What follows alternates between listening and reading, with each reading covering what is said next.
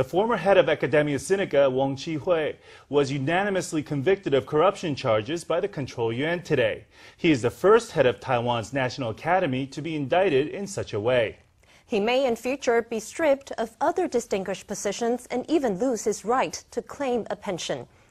Control Yuan's committee believes that during his tenure, Wong was guilty of insider trading and assisted a company linked to a, academy in making free use of the academy's research results, betraying the integrity appropriate to his public office and severely harming the government's reputation.